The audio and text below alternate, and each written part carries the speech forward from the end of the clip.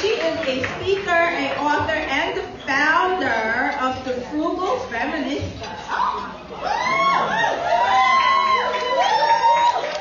Ever since I, I feel like here she is.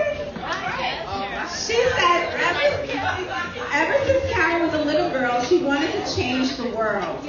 She created Frugal Feminista so women could be centered in conversations of financial healing, wealth, and worthiness. She loves the work that she does and hopes that she makes her community better and her ancestors proud. Words to live by. The most common way people give up their power is by thinking they don't have any. Woo!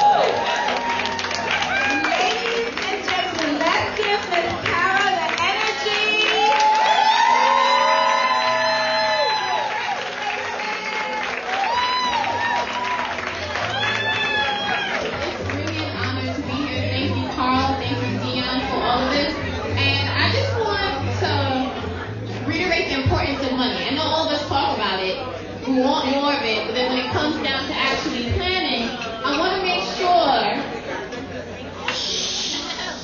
I want to make sure, especially as we left this pandemic and are beginning to emerge from it, women have been affected the most. We had to dip into retirement that wasn't as much as our counterparts. We had less opportunities to work from home or paid leave to be with our families. We are facing the gender gap, where black women make 61 cents per dollar compared to our white male counterparts. We also facing generational wealth gap, where there's so many different statistics about the median wealth versus the average amount of wealth that black communities have in relation to their white counterparts.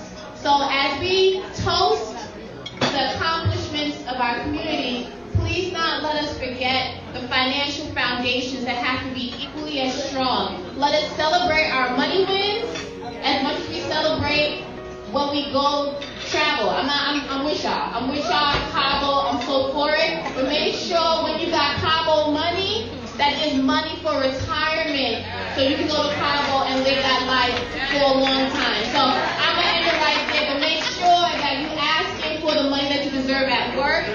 You're teaching our children, passing down generational wisdom around money, around home ownership, around healing our relationship with money. So the conversations and the needle can change when it comes to how we grow our money, but also enjoy our money, y'all, right? Congratulations!